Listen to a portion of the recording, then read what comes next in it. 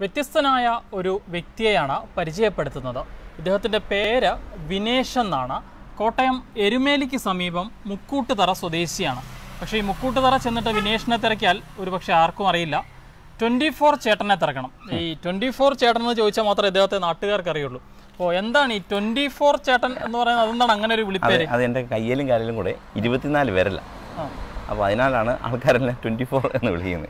ഒന്ന് ഒന്ന് കാണിക്കുമോ ഒന്ന് രണ്ട് മൂന്ന് നാല് അഞ്ച് ആറ് ഏഴ് എട്ട് ഒമ്പത് പത്ത് പതിനൊന്ന് പന്ത്രണ്ട്. കയ്യിൽ തന്നെ പന്ത്രണ്ട് വിരലും കാലിലും അതുപോലെ തന്നെ പന്ത്രണ്ട് വിരലുകളുണ്ടല്ലേ? അല്ലേ കാലിലും പന്ത്രണ്ട് ഓക്കെ കാലിലും പന്ത്രണ്ട് വിരൽ. അങ്ങനെ ആകെ കൂടി ഇരുപത്തിനാല് വിരലുകളുള്ളൊരു വ്യക്തിയാണ് ഇദ്ദേഹം. സാധാരണഗതിയിൽ നമുക്കറിയാം നമ്മൾ പലപ്പോഴും കണ്ടിട്ടുണ്ട് ഒരു കയ്യിൽ നമുക്കൊക്കെ അഞ്ച് വിരലാണെങ്കിൽ ആറ് വിരലുള്ള ആളുകളെ കണ്ടിട്ടുണ്ട് ആറും ആറും പന്ത്രണ്ട് വിരലുള്ള ആളുകളെ കണ്ടിട്ടുണ്ട്. പക്ഷേ ഈ കാലിൽ കൂടി ആറ് വിരലുകൾ വീതമുള്ള ഒരു വ്യക്തിയെ കാണുന്നത് തന്നെ ആദ്യമായിട്ടാണ് പരിചയപ്പെടുന്നത് തന്നെ ആദ്യമായിട്ടാണ്. അപ്പോൾ ഇതുകൊണ്ടാണ് നാട്ടിലേക്ക് ഇങ്ങനെ അറിയപ്പെടുന്നത്. അതെ അതെ. ഇതുകൊണ്ടുള്ള എന്തെങ്കിലും ബുദ്ധിമുട്ടൊക്കെ ബുദ്ധിമുട്ടെന്ന് പറഞ്ഞാൽ ഞാൻ കെട്ടിടം പണിയായിരുന്നു ആദ്യമേ. അപ്പൊ അപ്പോൾ ആ കാലത്തൊക്കെ നമുക്ക് ഈ നിലപ്പുറത്തൂടെ കയറി പോകാനൊക്കെ ഉള്ള പാടുകളൊക്കെ ഉണ്ടായിരുന്നു. ഇങ്ങനെ എല്ലാവരും സ്ട്രെയിറ്റ് ആയിട്ട് നടക്കുന്നതിൽ എനിക്ക് അങ്ങനെ നടക്കാൻ പറ്റില്ല എനിക്ക് വീതിയുള്ളതുകൊണ്ട്. പിന്നെ ചെരുപ്പ്. ചെരുപ്പും എനിക്കിങ്ങനെ ഒതുങ്ങിയ ചെരുപ്പുകളൊന്നും ഇടാൻ പറ്റത്തില്ല. അങ്ങനെയൊക്കെയുള്ള ഒത്തിരി പ്രശ്നങ്ങളുണ്ടായിരുന്നു. ഇത് പോളിഡാറ്റിക് എന്ന് പറഞ്ഞൊരു പ്രക്രിയയത് ഉം. അപ്പോൾ അങ്ങനെ വരുന്ന ഒരു ഇതാണെന്നാണ് ഡോക്ടേഴ്സ് പറഞ്ഞത് താങ്കൾ ബുക്ക് ഓഫ് റെക്കോർഡ്സിൽ ആ Indian Indian book of record ഉണ്ട്.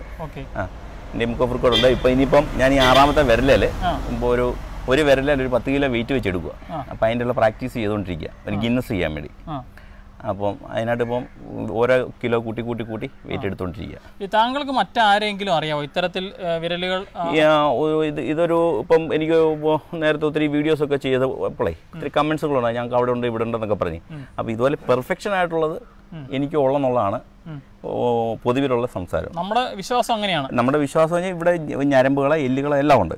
സാധാരണ സാധാരണഗതിയിൽ ഇങ്ങനെ ആറ് വിരലുകൾ വന്നാലും അതിൽ എല്ലുകൾ ഉണ്ടാവില്ല എന്ന എല്ലുകളില്ല. എല്ലുകൾ ഉണ്ടാകത്തില്ല. ഉണ്ടാവത്തില്ല. പക്ഷെ താങ്കൾക്ക് വളരെ കൃത്യമായി മറ്റുള്ള വിരലുകൾ പോലെ തന്നെ എല്ലുകൾ അടക്കമുണ്ട് അതായത് പോളിഡാറ്റിക് എന്ന് പറഞ്ഞാൽ ഈ ഇറച്ചി കഷ്ണം പോലെ ഉണ്ടാവുള്ളൂ.